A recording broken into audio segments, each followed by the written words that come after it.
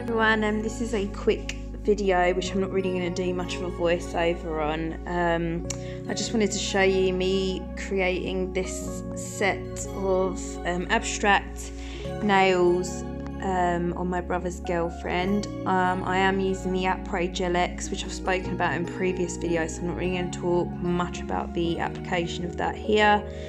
Um, I'll leave uh, product links for the gel polishes that I've used. Um, when I'm putting the base colour down, I wanted to let you know that I've only done one coat because I wanted to keep that colour quite sheer.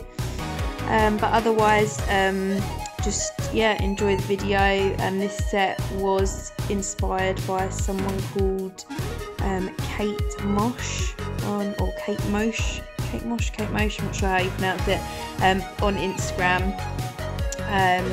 I was shown a picture of these. Um, we kind of changed the colours up a little bit and some of the shapes, but the style was very much the same, so it's very much inspired by her. I'll try and leave a link to her Instagram account as well. Um, but yeah, enjoy the video. If you like it, please give me a thumbs up and subscribe, and I'll see you in another video soon. Bye.